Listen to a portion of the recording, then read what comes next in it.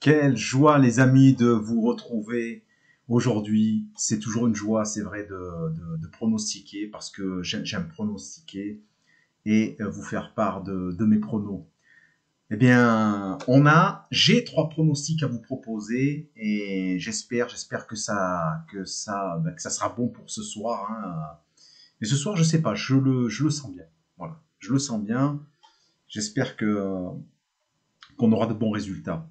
Bien sûr, le petit pouce, les amis, comme d'habitude, quand vous passez euh, devant la vidéo. Euh, j'ai mon lien Telegram pour ceux qui viennent de découvrir cette chaîne au bas de cette vidéo, donc dans la description. Et je le mettrai aussi en commentaire, c'est pronostic aussi. Donc là, on est plus de 3200 euh, personnes sur le Telegram. Alors, comme vous le voyez, il y a cette rencontre entre le Portugal et l'Espagne. Gros match ce soir. Hein. Moi, j'aime ces matchs.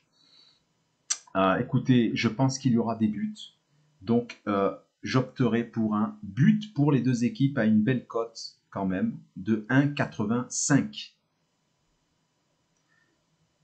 Pour la seconde rencontre, euh, Irlande face à l'Arménie, je pense qu'il y aura des buts et des buts. Donc, j'opterai plutôt pour un plus de 2,5 buts, les amis à 1,84.